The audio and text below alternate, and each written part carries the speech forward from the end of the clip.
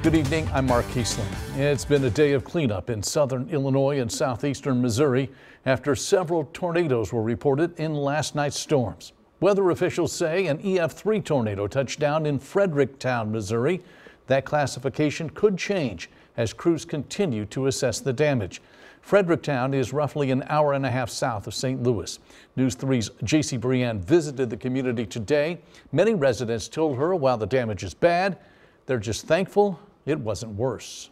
We're in Madison County, Missouri, in Fredericktown, just off Highway 67. We're actually standing in the path of Sunday night's tornado. We've been catching up with community members who tell me that the damage you see behind me was once a brick home that's been completely blown away.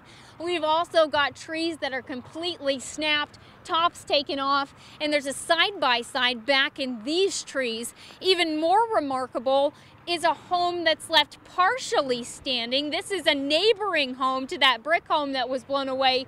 You can see into the home, see the kitchen cabinets, the roof has been blown off, and neighbors tell me that there were people in this house riding out the storm. I was at work last night when everything was going on. I work at a nursing home, and then um, my mother-in-law house um, tornado was supposed to hit uh, Walmart, came through here. Um, their house is completely destroyed. They were went to the basement, um, had a mattress over them. The roof came off everything. Jeep totaled, brand new truck.